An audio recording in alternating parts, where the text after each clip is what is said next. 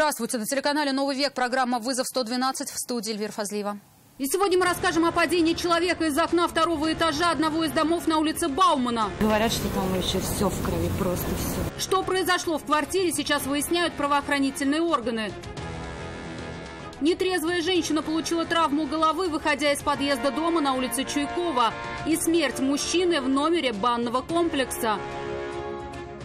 А также хроника дорожных происшествий по всей республике. Вы это признаете? Нет. Нет. А почему? Почему? Это и не только. Прямо сейчас. Прямо на глазах множества очевидцев в самом центре Казани, практически под стенами Кремля, из окна второго этажа одного из домов на улице Баумана ночью выпал окровавленный, обнаженный молодой человек. Он был в сознании, разговаривал и даже пытался встать, но сделать это ему не дали. Помимо травм от падения, у него были несколько ножевых ранений. Отдыхающие были уверены, его выкинули из окна. Когда прибыли медики, пострадавший был жив, но скончался по пути в больницу. Нет, его сбросили.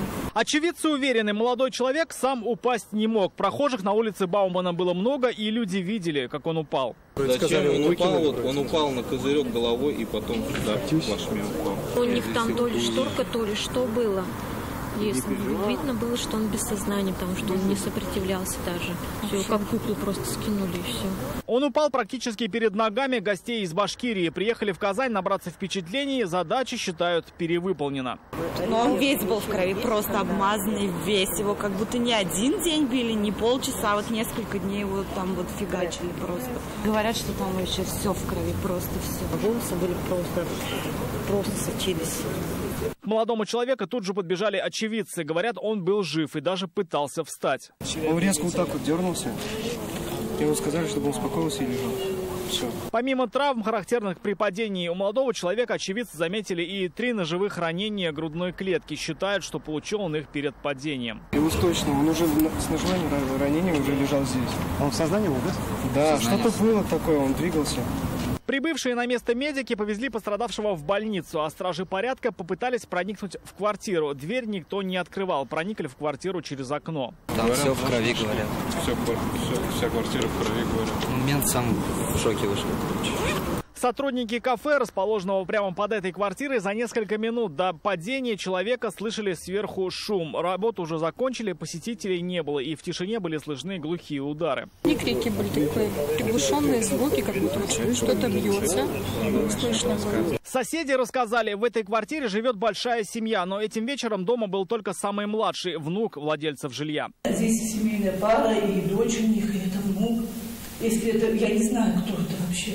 Что произошло в квартире, сейчас выясняют правоохранительные органы в ходе проверки. По предварительным данным, дверь в квартиру была закрыта изнутри, все ключи были на месте, и после падения молодого человека в ней никого не было. Сам он скончался по пути в больницу.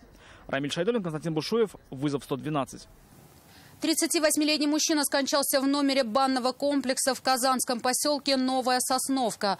Его родственникам о случившемся сообщили полицейские, прибывшие на место. Выяснилось, что номер они сняли с другом. Приехал туда сразу после работы. Товарища скончавшегося мужчины стражи порядка доставили в отдел для выяснения всех обстоятельств. А родственникам приходилось только догадываться об обстоятельствах смерти.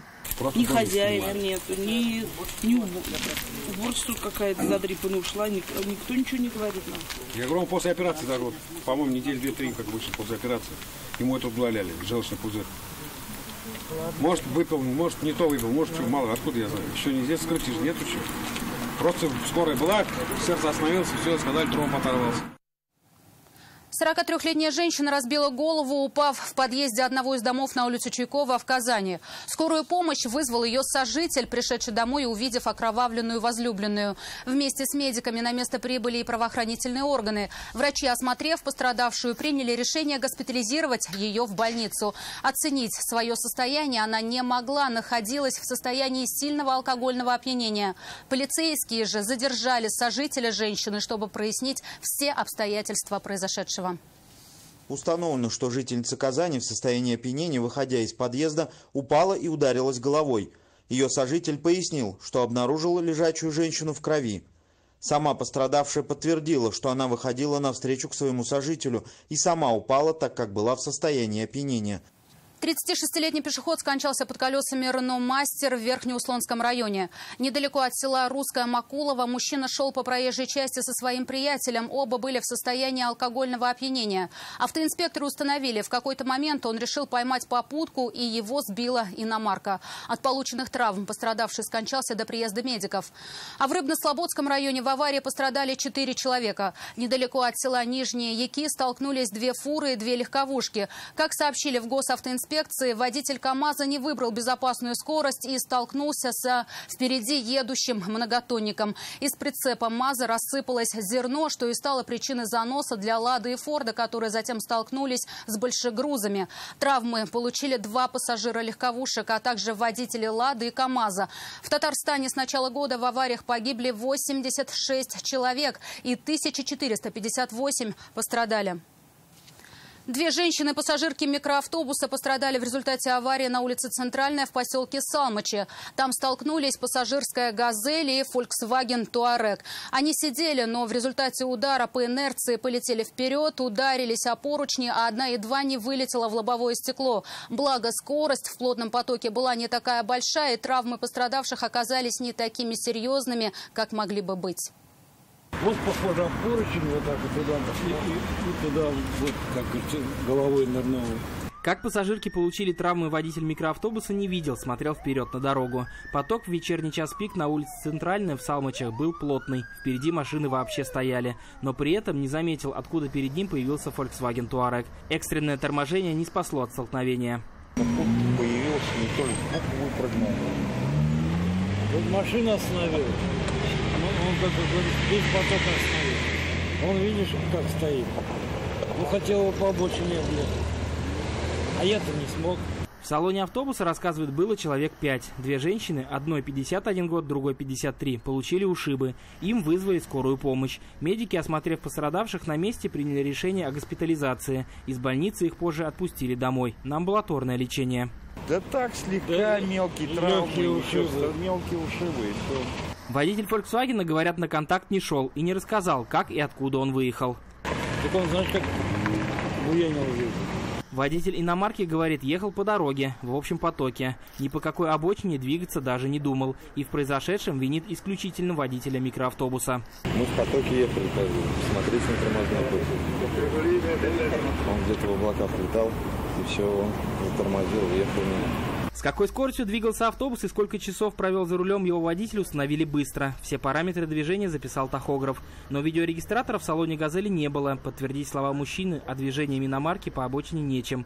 Говорит, приобрести его хотел давно, но теперь сделает это точно. Иван Сарафанов, Константин Бушуев, вызов 112.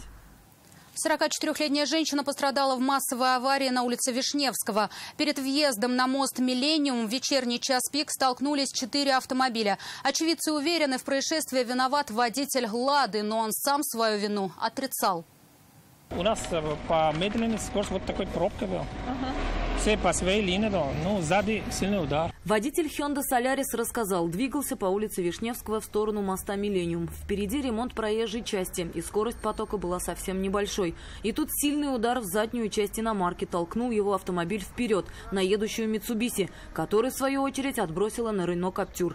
На головную боль после аварии стала жаловаться 44-летняя пассажирка Hyundai. Она сидела на заднем сидении. Медики приняли решение о госпитализации. Травмы получили и пассажиры пассажиры «Лады». У них были ссадины и кровоподтеки, но к медикам они обращаться не стали. Ну, ребята с приора начали вылазить. Все. Их пятеро было там? Не больше? Не знаю, я не рассматривал. Я посмотрел то, что нормально все вылезли и все. А вину признал он? Не знаю, он говорит то, что я остановился. Несмотря на то, что все остальные участники аварии были уверены в виновности водителя «Лады», он сам вину отрицал и попытался объяснить, почему, но не смог. Вы это признаете? Нет. Нет. Почему? По кочану. Нет, ну остановились, может, резко перед вами. Я понимаю, что... Hyundai Солярис, потому что резко тормознул. Теперь автоинспекторам предстоит установить все обстоятельства происшествия и определить виновника аварии. Рания Абдрахманова, Нафиса Минязова, Лейсан Саитова. Вызов 112. Это все, о чем успели вам рассказать. Обо всех происшествиях вы можете сообщать нам по телефону 570 50 50 или на мобильный 8 98 69 112 112. Также мы доступны в социальных сетях. Присылайте видео, снятое вами. В студии была Эльвира Фазлиева. До встречи и не бросайте вызов судьбе. Вдруг она его примет.